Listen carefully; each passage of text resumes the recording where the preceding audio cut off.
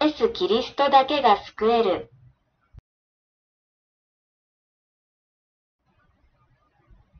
そして彼女は息子を産むでしょう。そしてあなたは彼の名前をイエスと呼ぶでしょう。彼は彼の民を彼らの罪から救うからです。第1時21分。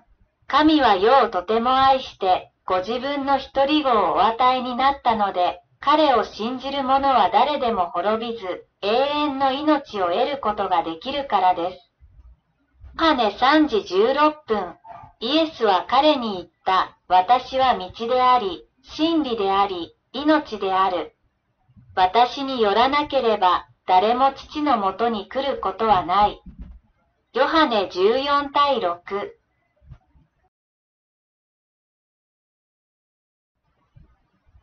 他の者にも救いはありません。なぜなら、雨の下で人間の間に与えられる名前は他にないからであり、それによって私たちは救われなければなりません。使徒4時12分。なぜなら、私はまず、私も受けたもの、すなわち聖書に従ってキリストが私たちの罪のためにどのように死んだかをあなた方に伝えたからです。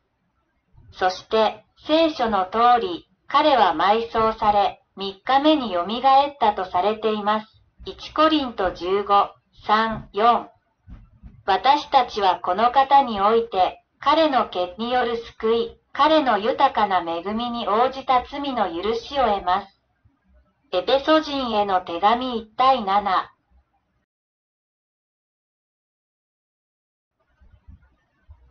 私たちが完全に理解しなければならない4つの真実があります。1、神はあなたをとても愛しています。神はあなたが天国で永遠の命を共に持つことを望んでおられます。神は世をとても愛して、ご自分の一人子をお与えになったので、彼を信じる者は誰でも滅びず、永遠の命を得ることができるからです。ヨハネ3時16分。彼はあなたが彼と一緒に豊かで有意義な人生を送ることを望んでいます。泥棒は来るのではなく、住んだり、殺したり、滅ぼしたりするためです。私が来たのは、彼らが命を得るため、そしてそれをより豊かに得るためです。ヨハネ10時10分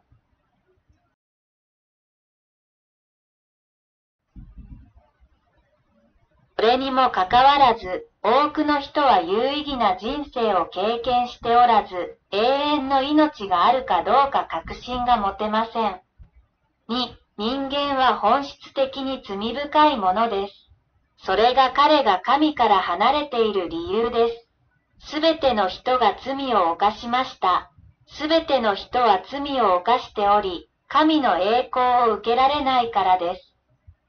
ローマ人への手紙3時23分。金銭への愛は諸悪の根源だからです。テモテ第一6時10分。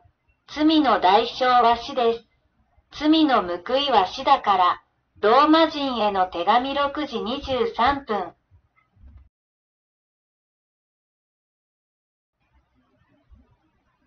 聖書は次の2つの種類の死を特定しています。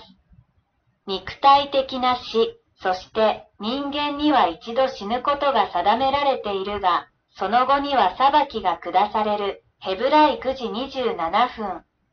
霊的な死、または地獄での神からの永遠の分離。しかし、恐ろしいもの、不信仰なもの、忌まわしいもの、殺人者、売春婦、魔術師、偶像崇拝者、そしてすべての嘘をつく者は、火と硫黄で燃える湖の中でその役割を果たすことになる。これは第二の死である。目視録21対8。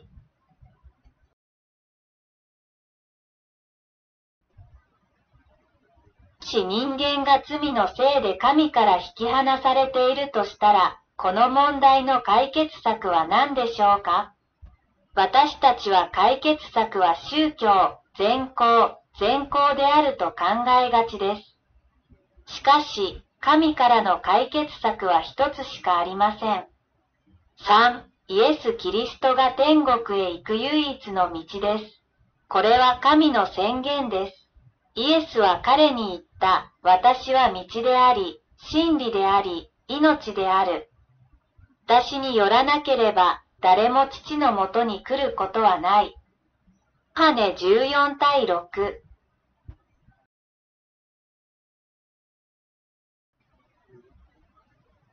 神は私たちの罪に対する完全な罰を支払ってくださいました。なぜなら、キリストも、かつては義なる者が不正な者のために苦しみ、私たちを神のもとに導くため、肉においては死にどころせられましたが、御霊によって生かされたからです。1ペテロ3時18分。私たちはこの方において、彼の血による救い、彼の豊かな恵みに応じた罪の許しを得ます。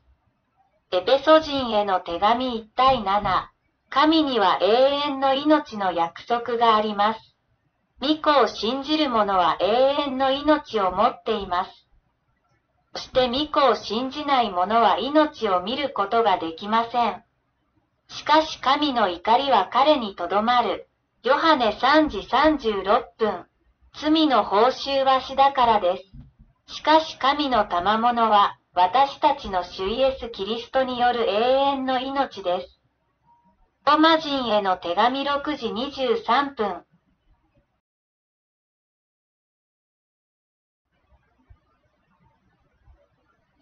私たちは救われるためにイエス・キリストを信じる必要があります。私たちの救いはイエス・キリストへの信仰を通しての神の恵みによるものです。なぜなら、あなた方は恵みによって信仰を通して救われたからです。そしてそれはあなた自身からのものではありません。これは神の賜物です。行いからのものではありません。誰も誇ることがないように、エペソ人への手紙に8の9、主の漁名を呼び求める者は誰でも救われるからです。ローマ人への手紙10時13分。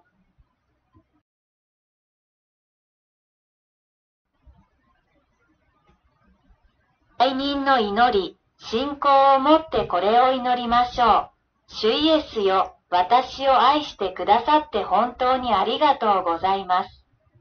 私は罪人であることを告白し、あなたの許しを求めます。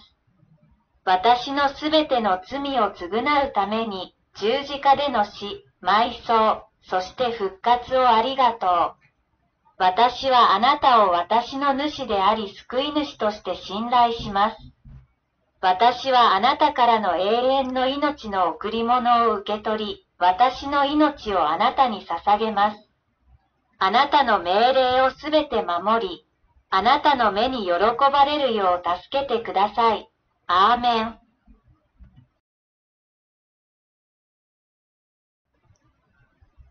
あなたがイエス・キリストを信頼したなら、次のことがあなたに起こります。今、あなたは神と共に永遠の命を持っています。そして、これが私を使わした方のご意志です。巫女を見て彼を信じる者が皆永遠の命を得るということであり、私は終わりの日に彼を蘇らせます。ハネ6時40分。あなたの罪はすべて支払われ、許されました。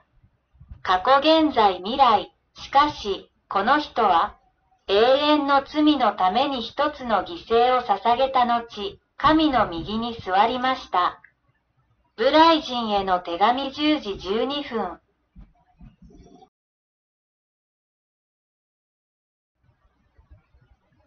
あなたは神の目には新しい創造物です。